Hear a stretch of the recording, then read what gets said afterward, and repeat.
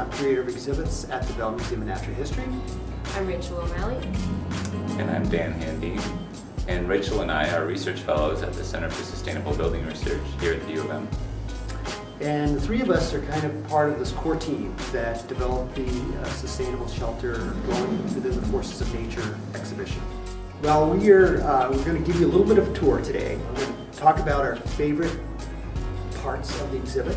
My favorite part is the house with the forces of nature.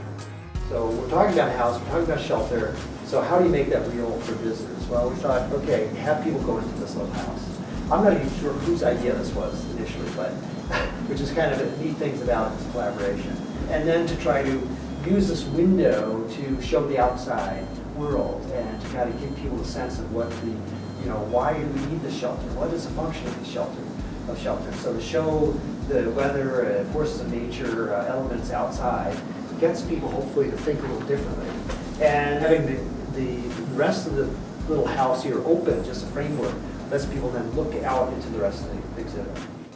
I really like the carbon guy animation that explains the carbon cycle and how human activity has been affecting the carbon cycle in a fun and humorous way.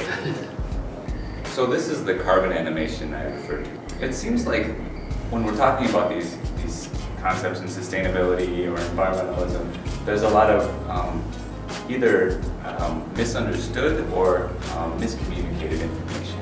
And so one of the things that we were trying to do was talk about how humans are impacting the carbon cycle and why is carbon important? Because we hear, oh, we got carbon this, carbon that, carbon trading, carbon caps, but why is it important?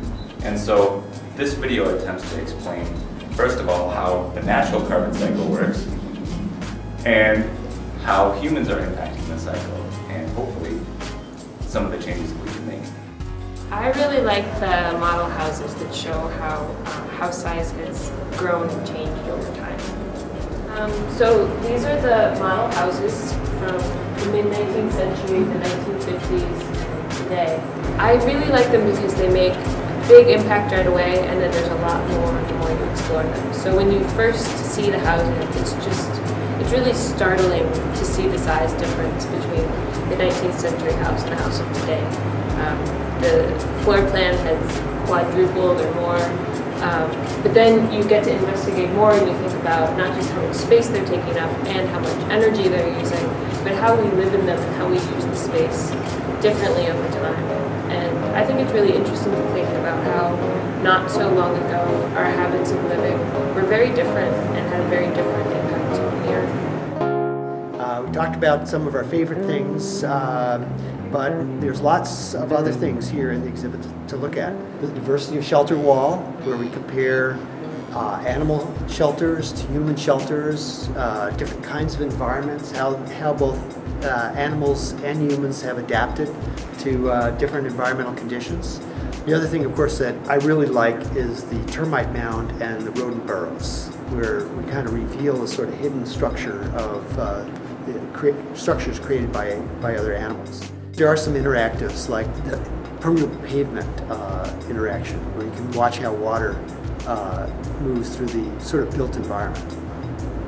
I like the wall sections too, and it's not just because I worked on them. Um, basically, we're trying to explain what happens with a wall or why walls are important. What are the functions that a wall performs in a structure? And what we're really trying to show is that there's a lot of different ways that those functions can be met.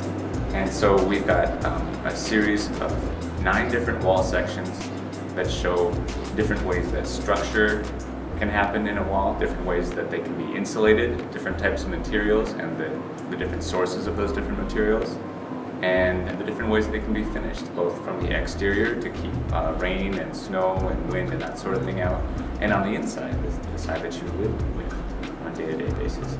And so they're kind of cool because you can see all the many, many different types.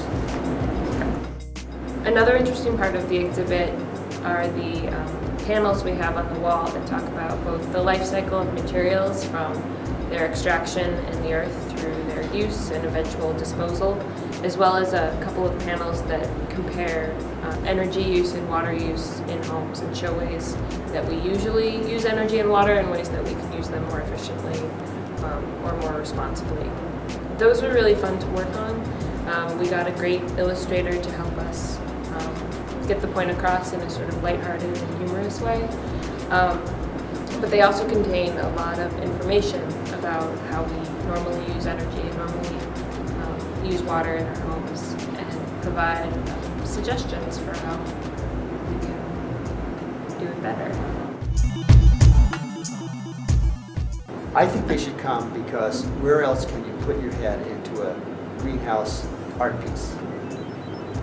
And there's a lot of different interactive pieces in the exhibit. I, that's why I would come. You can flick light switches, you can watch dynamic glazing change from tinted to a clear state. You can see the difference of different types of glass by putting your hand underneath and feeling the difference in heat. I think there's just a lot of different things to explore. So, you know, you can watch a cartoon, which is really entertaining, but you can also sort of um, get really up close and personal complicated cartoons and graphics that allow you to explore the details of how your house works. As part of the exhibit, we set up the Icon Solar House, which was the University of Minnesota's entry to the 2009 Department of Energy Solar Decathlon competition. It was a great opportunity for us because after the competition it came back and uh, was literally sitting in storage until we were able to set it up as part of the museum exhibit. And it has been an overwhelming hit. Kids, adults, uh, faculty, lay people come through the house and they really get an opportunity to see high-tech solar. All of the heating, cooling, and electricity comes from solar power for this house. Um, and it's designed to perform in Minnesota on a year-round basis. But on top of that, it's a really nice space to be in. You can watch a movie, you can wash dishes, you can take a shower. It, you know, it has to function like a normal house. Um, and uh, people get to come through and actually see how it can work.